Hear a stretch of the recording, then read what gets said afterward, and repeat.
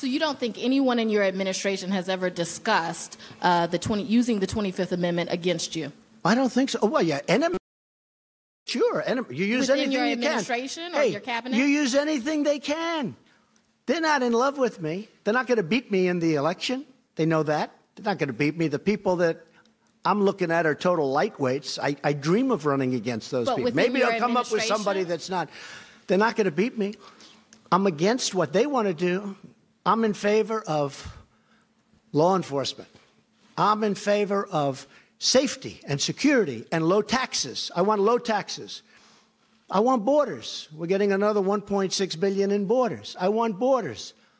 We've spent 3.2 and we're getting another 1.6 and then eventually we're getting the whole thing and we'll complete the wall.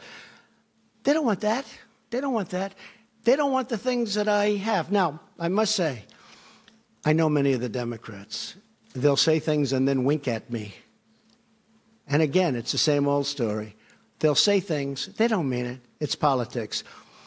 The reason they don't want me is because they want to run the show. They want it. It's power, it's whatever you want to call it.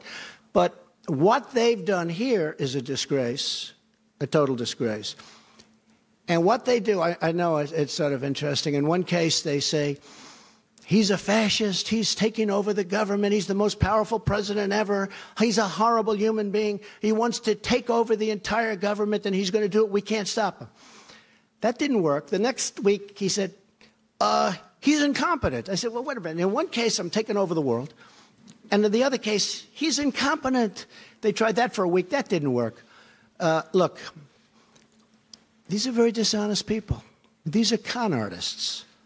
And the press knows it, but the press doesn't write it. Uh,